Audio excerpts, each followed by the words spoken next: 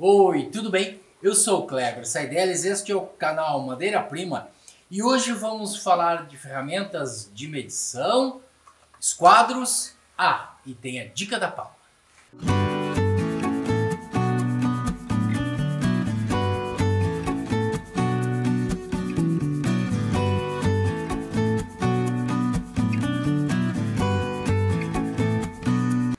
Bem, meus amigos, nesta série que nós estamos fazendo, estamos já encaminhando, falamos de ferramentas é, diversas, falamos de planas, falamos de outro. Hoje nós vamos falar de um, de um conjunto de ferramentas que às vezes fica um pouco fora assim do nosso, do nosso investimento, daquilo que a gente acha que é principal é, numa marcenaria, que são as ferramentas de medição e as ferramentas de esquadrejamento, as ferramentas de precisão para que a gente possa fazer um móvel bem legal.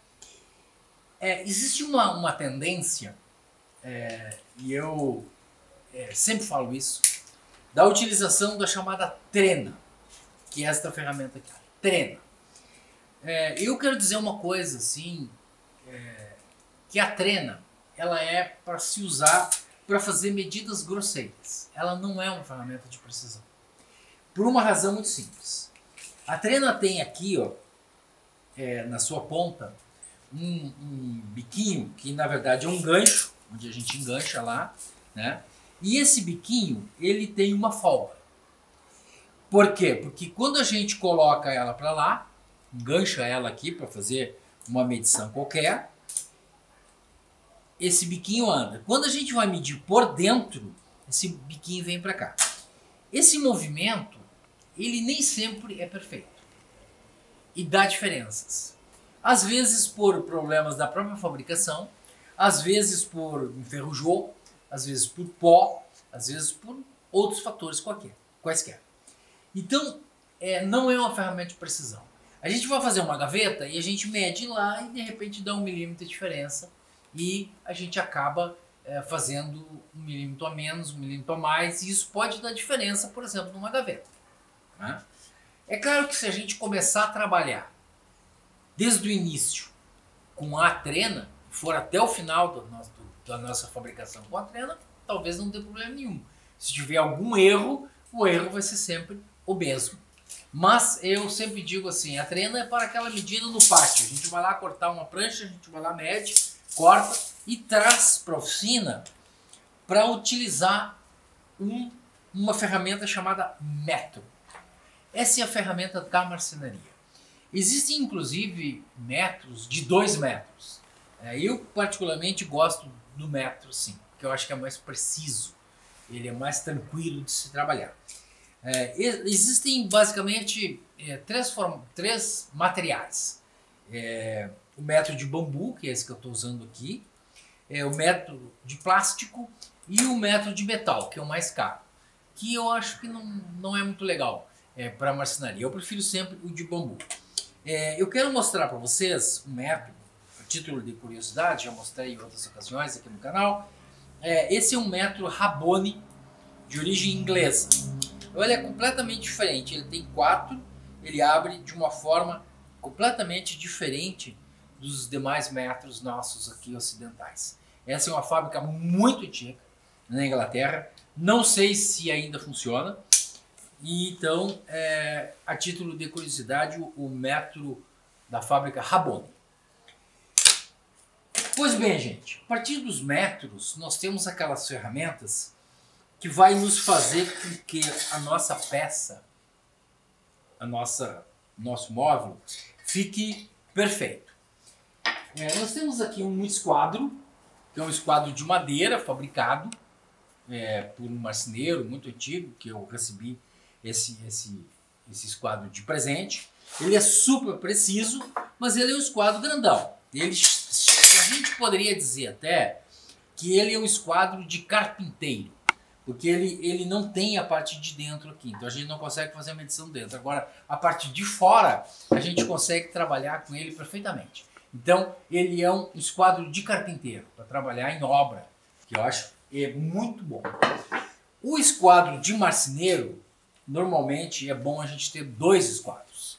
É, até tem pessoas, tem marceneiros que tem um pequenininho, que é o chamado esquadro de torneiro mecânico, um de metal bem pequeno, para a gente poder chegar assim em lugares menores, para a gente poder verificar o esquadro.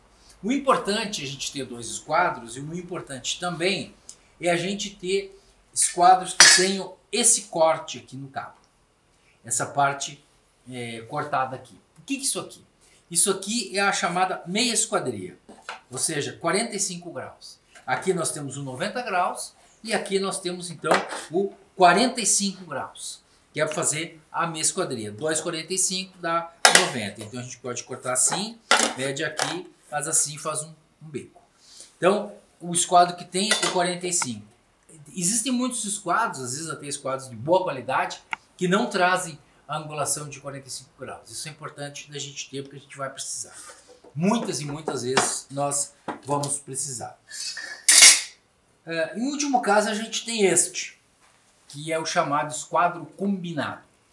É, esse aqui é um múltiplo esquadro, ele tem essa parte que também se pode jogar lá para frente e fazer, aqui é um esquadro de 90 graus, a gente pode colocar fazer uma conferência ou fazer mesmo é, uma marcação.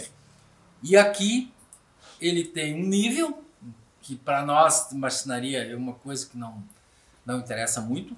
Ele tem um, é, a maioria deles tem esta, esta agulha, que é uma agulha, é, digamos, para riscar, né? Então a gente precisa fazer um risco, a gente coloca ali e faz é, um risco com agulha, uma agulha marcadora. É, existem alguns, inclusive, que tem um furinho onde a gente coloca a agulha para fazer a marcação. Esse esquadro ele é interessante porque além dele ter essas peças diferentes, ele tem aqui ó, uma meia esquadria. Então aqui nós teríamos o 45 graus, né, aquele mesmo que tem naquele esquadro ali. Aqui nós temos o 90 graus. E ele tem uma outra é, peculiaridade muito legal que se usa. Eu não vi nunca ninguém indicar isso no próprio, nos próprios fabricantes. Mas ele, ele funciona também para a gente medir profundidade. Então a gente está ali na profundidade, a gente coloca assim né, e trava ele e a gente sabe que aquela ali é a profundidade, a medida da profundidade que a gente vai usar. Isso, por exemplo, em colocação de fechaduras de porta, isso é muito legal. Porque tem aquela, aquela chapinha que vai no marco, chamado chapa-testa, que a gente coloca ali às vezes a gente não consegue precisar exatamente onde é que está a lingueta da porta para que ela fique perfeita. Então a gente usa no vão da porta entre a porta e o marco, vai lá, fecha a porta e coloca lá na lingueta e acha a profundidade perfeita, bota a chapa testa naquela medida e fica é, um serviço extremamente bem feito. É, eu uso muito esse esquadro pra, exatamente para fazer esse, essa medição é, da profundidade da chapa testa. Além dos esquadros, nós temos uma outra ferramenta que é esta aqui, que ela é uma ferramenta é, que eu diria assim, estranha para muitos marceneiros, mas hoje em dia eu, eu, devo dizer que ela é bastante utilizada. É uma ferramenta é, chamada suta. É, eu vou contar essa história, eu, eu era jovem, lá pelos meus 18, 19, eu estava fazendo uma, uma, uma obra lá na minha casa e a gente ia fazer uma escada. E aí eu achei que escada era uma coisa fácil de fazer, né? De ah, fazer uma escada. Aí cortei lá as madeiras, botei lá a escada e meio que me atrapalhei um pouco, porque tem uma hora que o negócio não começou a não dar muito certo. Porque tinha a altura, tinha o passo, tinha uma série de coisas na escada que é um negócio meio complicado. Aí a minha mãe disse assim: por que, que tu não chama o Telmo? O Telmo é um tio meu, que era carpinteiro, já contei várias histórias dele aqui. É, e aí eu disse: será? Aí liguei para ele e tal, né? Ele morava na outra cidade. E ele foi lá. Aí chegou lá, olhou a obra assim, e disse: pá, se eu soubesse, eu tinha trazido a minha suta. E eu fiquei assim, tipo, suta? O que seria a suta? A suta é esta aqui. Esta é a suta. Por que, que ela é importante? Porque ela é um esquadro móvel. A gente pode diminuir e a gente pode aumentar o ângulo. Isso aqui, para quem trabalha com móveis é, de parede a parede, por exemplo, armários, isso aqui é uma peça extremamente importante, uma ferramenta muito importante. Porque se a gente tiver um armário, tiver um móvel que vá num canto de parede, a gente precisa lá e conferir o canto. que a gente imagina que ele está no esquadro. E a gente vai lá, verifica que ele não está, que ele está errado. Se ele tiver assim, o nosso armário não vai entrar. Se ele tiver assim, o nosso armário vai ficar com uma, uma fresta aqui na frente, vai ficar horrível. Então essa é uma ferramenta que não pode faltar na nossa caixa de ferramentas, conhecida como SUTA. Pois bem, meus amigos, agora eu quero falar de duas, é, duas não, é, eu tenho duas aqui, mas é de uma ferramenta é, muito especial, é, que é o chamado graminho. É, aqui eu tenho um graminho muito antigo e ele tem, esse graminho tem um parafusinho apontadinho ali que ele faz. É, então ele tem até umas peças de metal aqui, de, de latão, de bronze e tal, de proteção. Para que, que serve o graminho? O graminho serve para a gente fazer uma regulagem de uma largura e fazer uma marcação nesse sentido assim. Certo? Esse aqui, por exemplo, como vocês podem ver aí, ó, ele risca faz uma marca na madeira. Então tem que ter um certo cuidado porque de repente não é interessante que a nossa madeira fique marcada. Outras vezes é interessante. E este é outro aqui, é um graminho que me foi é, presenteado, um colega marceneiro aqui de Porto Alegre, o Carlos Aliati, me presenteou, que é um, um, um pouco mais simples, mas extremamente eficiente. Que por acaso na mesma medida, ele tem uma, uma tampa de caneta, que a gente pode então riscar, ao invés de fazer a marcação, faz o risco. Então, o graminho é uma peça fundamental na nossa marcenaria para a gente poder fazer. Se eu quisesse fazer uma marcação em toda a volta desta, desta pequena gaveta, eu faria tranquilamente, sem medir esforço, sem precisar ficar medindo aqui, medindo lá e tal. Eu conseguiria fazer toda essa transposição. Isso é muito legal para fazer encaixes, tipo rabo de andorinha, para fazer encaixes tipo malhete. E a gente faz uma marcação e vai lá e passa, certo? Bom, quando eu falei no esquadro, é, há, há, ocasiões que a gente não tem um esquadro, por exemplo. Então, como é que a gente confere o esquadro de uma determinada peça que a gente está montando, que a gente está prendendo ali nos grampos? A gente faz a medida das diagonais. Por exemplo, esta gavetinha, as diagonais, esta diagonal aqui, mede 29 milímetros centímetros e 9 milímetros. Se eu olhar esta outra diagonal aqui, ela tem que estar exatamente na mesma medida. Se ela tiver as duas diagonais na mesma medida, significa que a nossa peça está obrigatoriamente no esquadro. Isso é uma coisa, essa é uma conferência que a gente sempre tem que fazer quando está montando móveis, às vezes no lugar. Porque a gente leva o móvel, às vezes na viagem ele dá uma torcida e tal, alguma coisa, a gente coloca ele lá no local e mede as diagonais para ver se ele está exatamente no esquadro. Certo, gente? Bom, esse é o nosso pequeno passeio, então, pelas ferramentas é, de medição e, e, os nossos esquadros e graminhos. E agora a gente tem o famoso quadro uh, que eu nem vou falar da nossa régua, mas você já imagina para que serve a régua. Né? Então eu vou chamar aqui a nossa colega Paula Miguel, que vai ter uma dica especialíssimas. Dica da Paula. Oi, pessoal, tudo bem? Hoje o Kleber até deixou a mesa mais organizadinha para mim, o que é bem legal. Bom, hoje a minha dica é para quando a gente já está finalizando o móvel. Faz parte do nosso acabamento. E como aqui no Madeira Prima, na Madeira Prima a gente tem o conceito que é de restaurar e reutilizar tudo o que for possível dos móveis, eu e o Kleber costumamos dar uma atenção especial para as ferragens. E eu vou falar especificamente das ferragens que são feitas, produzidas de latão ou bronze. E aqui eu deixei uma de molho para mostrar para vocês, ou tentar mostrar para vocês, espero que já tenha dado todo o processo químico, para tentar para mostrar para vocês como o resultado é muito bom e é simples e fácil fazer. O que eu tenho aqui são puxadores. É, ele tá nessa mistura de vinagre com sal há aproximadamente uns 30, 40 minutos. A gente pode até deixar de um dia para o outro, colocar à noite e se preocupar só no outro dia. Não tem problema ficar a mais. Às vezes a gente consegue um bom resultado em duas ou três horas, às vezes em 20 minutos, e às vezes a gente precisa de 24 horas ou mais para deixar ele limpinho.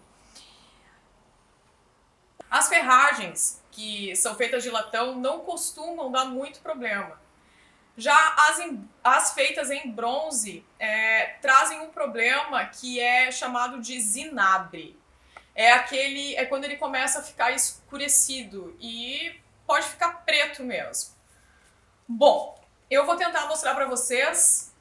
Aqui está a minha misturinha.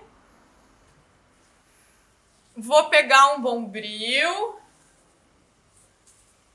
E aqui até trouxe um outro para vocês que eu não coloquei de molho para mostrar como ele está bem destruidinho, bem sujinho e que a gente vai, espero que a gente tenha um bom resultado.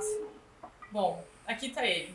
Olha aqui, como vocês podem ver, às vezes até sem esfregar, ele já vai soltando e trazendo a corzinha dele de volta.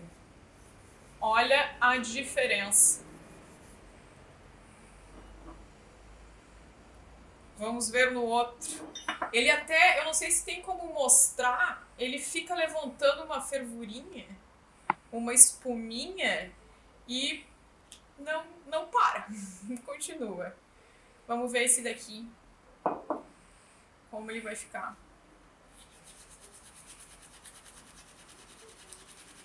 Bom, uma passadinha de bombril sem perder muito tempo. Vou até molhar aqui de novo. Vocês podem ver que ele fica bem diferente. E agora é só continuar a restauração, depois lavar bem ele em água corrente, pode passar um óleozinho e ele fica especial no móvel.